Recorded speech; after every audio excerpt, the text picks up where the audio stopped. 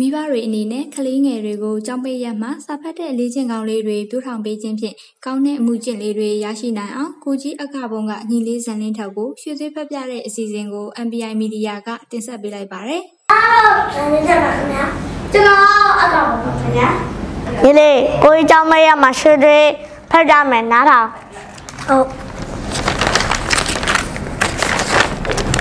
ခင်ဗျုံယုံ ဟာကလေးတရားငိုနေပါလားဟဲ့မောင်လေးဘာဖြစ်လို့ငိုနေတာလဲအိမ်မပြတ်တက်လို့လားမုတ်စားချင်လို့ဘာမုတ်စားချင်တာလဲခြေတုံးနဲ့အိုးမြတ်စွာဘုရား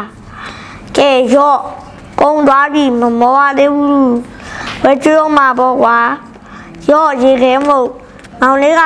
ဘယ်လဲမှနေတာလဲမမလိုက်ဖို့ပေးမယ်လေအလန်းနာမည်ပြော အမကိုဘသူကလမ်းပြောက်တယ်ပြောလို့လေဘိုက်စာလုံးကိုဒါကကျွန်တော်အိမ်ဟင်းဝါတော့ပြေဟေးဝါတော့ပြေဟာဟာဟာဟာဟာကြည်လမ်းမအောင်အစီတွေကြီးပဲငါကိုကြည့်ရှင်းလေးနေတာပဲတွေ့လား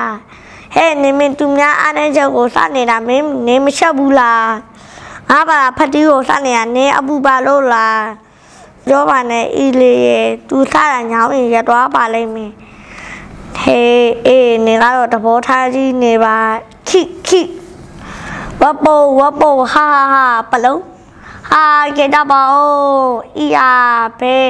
ထီတော်လေးလေဘာမှဖြစ်ပါဘူးဟာပပလေးရဲ့ကျဲနေအခုနေဒုက္ခရောက်တော့